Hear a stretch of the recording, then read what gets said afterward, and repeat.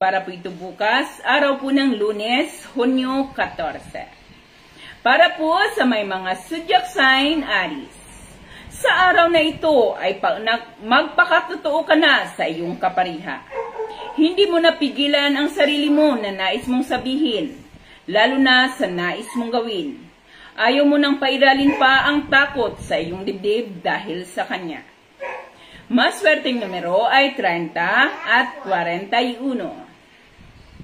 At para naman po sa Taurus, pagkakasunduan nyo ng iyong mahal ang isang desisyon na gagawin tungkol sa inyong negosyo. Pareho kayong aasa na sa pagkakataong ito ay magtatagumpay ang inyong mga plano at ngayon nyo na ito sisimulan. Maswerteng numero ay 14 at 15. At para naman po sa Gemini, hindi mo magugustuhan ang salitang bibitawan niya sa iyo. Kaya naman, hindi mo maiiwasan na hindi may paliwanag ang iyong side. Pero hindi niya pakikinggan. Kaya magpapatuloy pa rin ang inyong bangayan. Maswerteng numero ay 12 at 35. At para naman po sa cancer, Mauuntog ka ngayon sa katotohanan tungkol sa tunay na damdamin sa iyo ng taong labis mong minahal. Ang tiwalang ibinigay mo sa kanya ay masisira sa isang iglap lang. Malilito ka sa iyong mararamdaman dahil dito. Maswerteng numero ay 6 at 7. At para naman po sa Leo, sa araw na ito ay malilito ang iyong puso sa kung sino ang dapat mong mahalin ang tao na mahal mo o ang malapit sa miyembro ng inyong pamilya na nagmamalasakit sa iyo. Mauubos ang maghapon mo sa kaiisip. Maswerteng numero ay 19 at 20. At para naman po sa Virgo, masusurpresa ka sa gagawing effort ng iyong kapariha para mapagaan ang loob mo. Dahil sa iyong mga hinanakit sa mga kamag-anak. Dahil sa kanya ay pansamantala mong makalimutan ang iyong mga alalahanin. Maswerteng numero ay 40 at 48. At para naman po sa Libra, makakaramdam ka ng pagkadismaya at labis na kalungkutan dahil sa pakiramdam na tila binabalawala ka ng iyong mahal. Yung pakiramdam na binabalawala ka sa kanya ang mga suggestion at opinion lalo na sa mahalagang bagay para sa inyong dalawa. Maswerteng numero ay 24 at 26.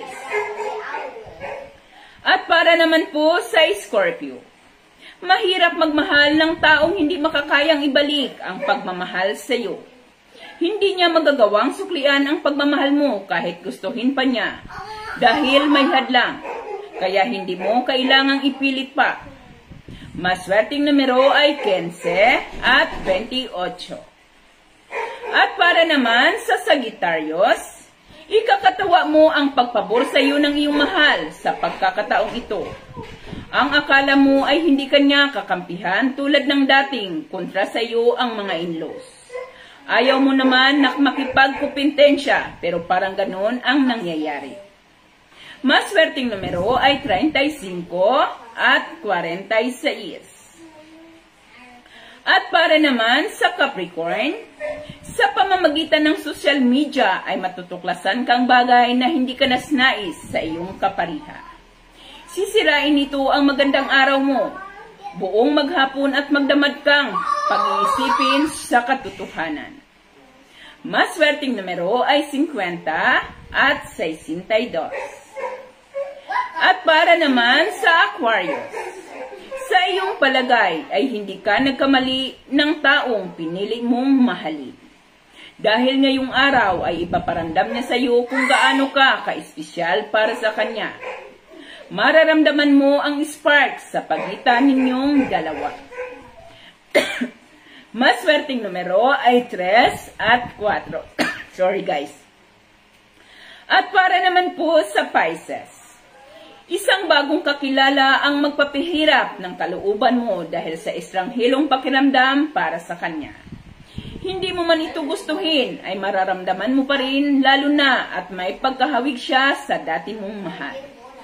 Maswerteng numero ay 53 at 67. At ito po ang ating Pisces. So, sa mga hindi po nakaabot, hello po kay Ma'am Jean Hagos. Magandang gabi po. Ah, hi Ma'am Evelyn. Yes ma'am, may pagbabalik pa ho tayo. Mayroon pa ho tayong pagbabalik. Shout out po tayo sa husband ni Ma'am Jovelyn Nodke na nakikinig ngayon na si John si Jonary. Si Jonary, ayan. Hi po sa inyo Sir Jonary. Shout out daw po sabi ni Ma'am Jovelyn Nodke. Hello po kay Ma'am Monet Baria Ferniceta. Kay Ma'am Nancy Dayday. Pascuin Halya, Halyaris ng Pangas ng Iloilo. Ganon din kay Ma'am Arlene Deret. Okay naman po ako. Thank you so much. At kay Ma'am Regina Shapno, magandang gabi. Kay, at kay Ma'am Ana Paroni. So, sa mga hindi po nakaabot guys, ito na pumuli ang ating Aris. Aris hanggang Pisces po tayo. Aris, sa araw na ito ay magpakakatotoo ka na sa iyong kapariha. Hindi mo na pipigilan ang sarili mo sa mga nais mong sabihin lalo na sa nais mong gawin. Ayaw mo nang pairalin pa ang takot sa iyong dibdib dahil sa kanya. Maswerteng numero ay 30 at 41. At para naman po sa Taros, pagkakasunduan nyo ng iyong mahal ang isang desisyon na gagawin tungkol sa inyong negosyo. Pareho kayong aasa sa pagkakataong ito na magtagumpay na ang inyong mga plano at na yun na ito sisimulan. Maswerteng numero ay 14 at 15. At para naman po sa Gemini, hindi mo magugustuhan ang salitang bibitawan sa iyo, kaya naman hindi mo maiiwasan na hindi may paliwanag ang iyong side. Pero hindi kanya pakikinggan kaya magpapatuloy pa rin ang inyong bangayan. Maswerteng numero ay 12 at 35. At para man po sa cancer, mauuntog ka ngayon sa katotohanan tungkol sa tunay na damdamin sa iyo ng taong labis mong minahal. Ang tiwalang ibinigay mo sa kanya ay masisira sa isang iblak lang. Malilito ka sa iyong mararamdaman dahil dito. Maswerteng numero ay 6 at 7. At para naman po sa Leo. Sa araw na ito ay malilito ang iyong puso sa kung sino ang dapat mong paniwalaan. Ang tao na mahal mo o ang malapit sa miyembro ng iyong pamilya na nagmamalasakit sa iyo. Mauubos ang maghapon mo sa kaiisip. Maswerteng numero ay 19 at 20.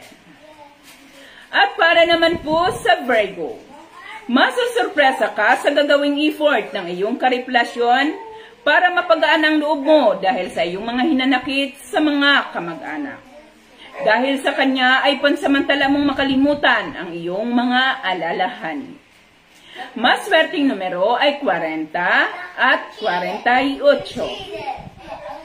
At para naman sa may mga zodiac sign Libra makakaramdam ka ng pagkidismaya at labis na kalungkutan dahil sa pakiramdam na tila binabaliwala ka ng iyong mahal. Yung pakiramdam na baniwala ka, na baliwala ka sa kanya at ang mga suggestion at opinion mo, lalo na sa mahahalagang bagay para sa inyong dalawa. Maswerteng numero ay 24 at 26. At para naman po sa Scorpio, Mahirap magmahal ng taong hindi makakayang ibalik ang pagmamahal sa iyo. Hindi niya magagawang suklian ang pagmamahal mo kahit gustuhin pa niya dahil may hadlang. Kaya hindi mo kailangan na ipilit pa. Maswerteng numero ay 15 at 28. At para naman sa Sagittarius, ikakatawa mo ang pagpabor sa iyo ng iyong mahal sa pagkakataong ito, ang akala mo ay hindi kanya kakampihan. Tulad ng dati, kontra sa iyo ang iyong mga inlos. Ayaw mo namang makapagkumpetensya, pero parang ganun ang mangyayari. Maswerteng numero ay 35 at 46. At para naman po sa Capricorn, sa pamamagitan ng social media ay matutuklasan kang bagay na hindi ka nasnais sa iyong karelasyon. Sisirain nito ang magandang araw mo. Buong maghapon at magdamag kang pag-iisipin ng katotohanan. Maswerteng numero ay 50 at 62. At para naman po sa Aquarius, sa iyong palagay ay hindi ka nagkamali ng taong pinili mong mahalin. Dahil ngayong araw ay ipaparamdam niya sa iyo kung gaano ka ka-espesyal para sa kanya. Mararamdaman mo ang spark sa pagitan ninyong dalawa. Maswerteng numero ay 3 at 4. At para naman sa Pisces, isang bagong kakilala ang magpapahirap ng kalooban mo dahil sa estrangherong pakiramdam mo para sa kanya. Hindi mo man ito gustuhin ay mamaramdaman mo pa rin, lalo na at may pagkahawig siya sa dati mong mahal. Maswerteng numero ay 53 at 67. Ayan po ang ating Pisces.